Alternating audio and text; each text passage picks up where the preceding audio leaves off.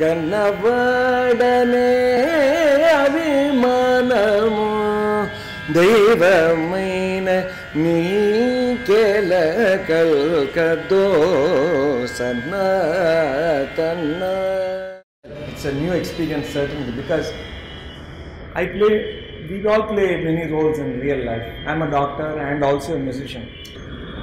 What do you still long and pine for? Whether asleep or awake, you are hopelessly immersed in this insatiable desire to see him again and again. For me, what was most exciting was to relate to the lessons that I've got in my dance classes. Gurunada, today I have understood the full import of his words as your Sishya. I think this is the first time where the, a blend of Eastern thought and ideology with Western backdrop of language has been used. Do you know that there is an old saying in Tamil? Ayiram analam, mayuram agal. The experience has been very enriching and we are really looking forward to the D-Day. Sharing the stage with eminent artists such as Vijay Siva, Gayathri Venkataraghavan, and Dr. Sunder. Swami, we hear you have composed a kirtanai hour, our Mayuranadar. Can we have the pleasure of hearing the same?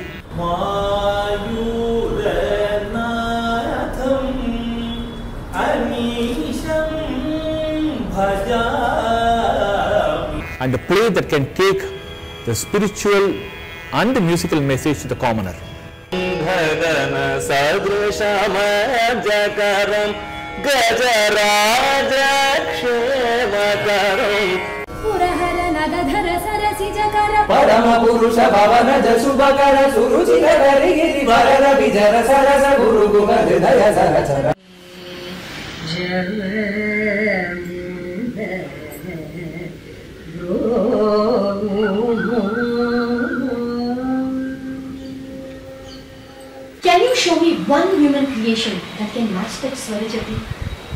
The only one who can match that is that Bangaru Kamakshi herself.